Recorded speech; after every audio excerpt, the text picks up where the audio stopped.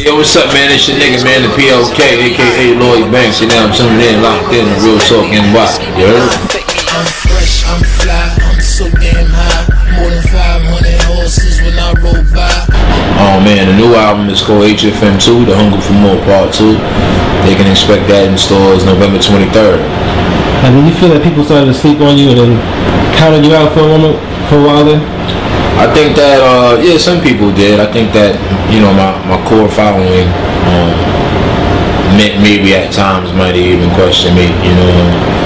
Um, what you go through as a, you know, as, as a person, you know, you- you're outside of music, you know, can have an effect on how much you participate in the business. So I think that, um, you can't expect people to understand and, and why you're not there, you know.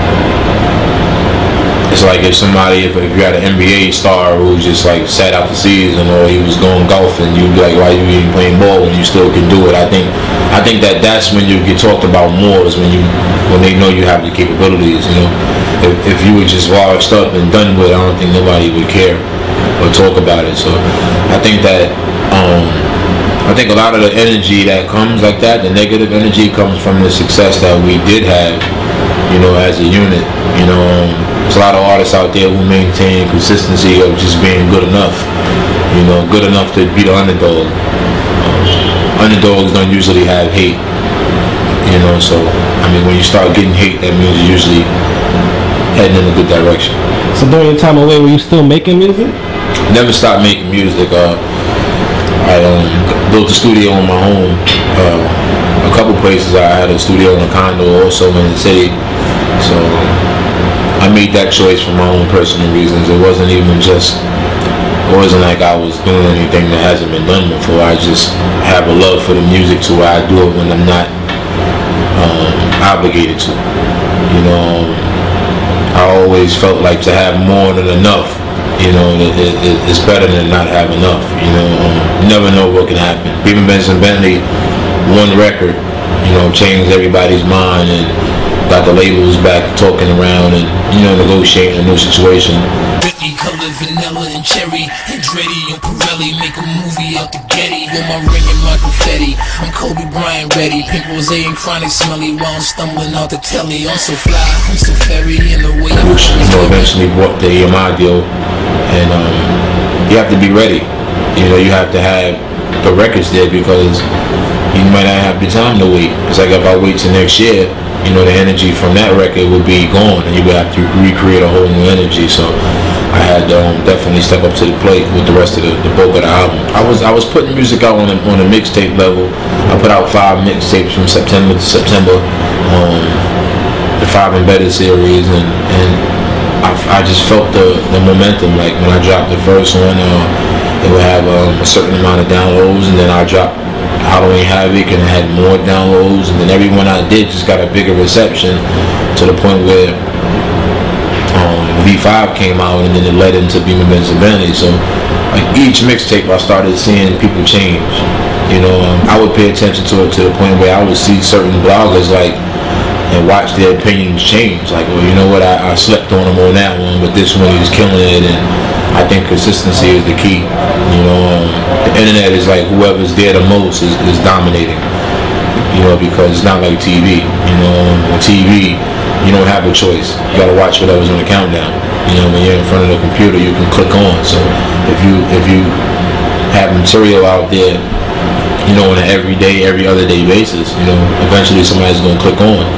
L Banks, baby baller of the year. Got about nine, ten dimes, and all of them is here. It don't matter, cause before the night is done, I disappeared. So my new one, I'm leaving out of the side. Meet me there. Yeah. Weed bottles everywhere. Metal full of hollows, I don't mind a petty stare. I don't need a favor, baby, I'm a millionaire. Got a show hopping out of the lid. What do you think your, your fans are so loyal to you and always making new material? I think that um well for one I think G Unit connected to to the people so um tight because I mean the pieces we had, like just the friendship we had, you know, as far as me, Yayo and 50, um, I think that we, we appeared like regular dudes to everybody, you know what I'm saying? Like it was easy to be us. It's easy to have bad luck, you know, and, and then we um the luck eventually changed for us, you know what I mean? Things went good for us. I think that that success story alone is what people draw people to us, and I think that me um, being in what you somewhat of an underdog position, you know, just from being, you know, with 50 Cent, you know, keeps me, it kept me humble over time, you know what I mean? At the same time, I'm not content. Like, I want to keep getting better and better and better.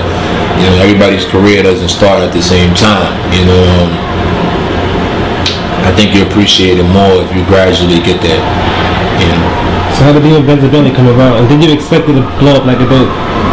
Um, yeah, actually I did. You know, I was, you know, one of the only people to, to believe that strongly in the record. Um, I just thought it was gonna be big. Um, and then with the extension of Juelz Santana, it just turned it into, you know, even brighter, bigger record. And um, I think it was a lot of different things that made that record go. Um, for one, I think it was the mixtape material that I put out. It, it kept all my my core fan base satisfied. So when I came back to mainstream radio, it wouldn't look like I just was on vacation and then just came back. You know, people might not be as receptive to it. I wanted to to give them all the punchlines and the, and the hardcore mixtape material. So when they hear me on the radio, when they hear me in the club, and, and, a, and a lighter note, it wouldn't feel like they've been cheated. And um, I think consistency, man, just me working, man, and um, staying humble and just wanting to get better. Like I don't think it's been a day going by, you know, in the last eight, nine years that I've been um, doing this professionally that I haven't wrote something, some kind of rap, you know. Um, and I think that that's what I owe it to, practicing, man, just going in there and, and, and um, perfecting my craft. So who are some of the features on the album producers you work with? I got um on a production tip. I got a lot of new production. I got um, a kid named Cardiak.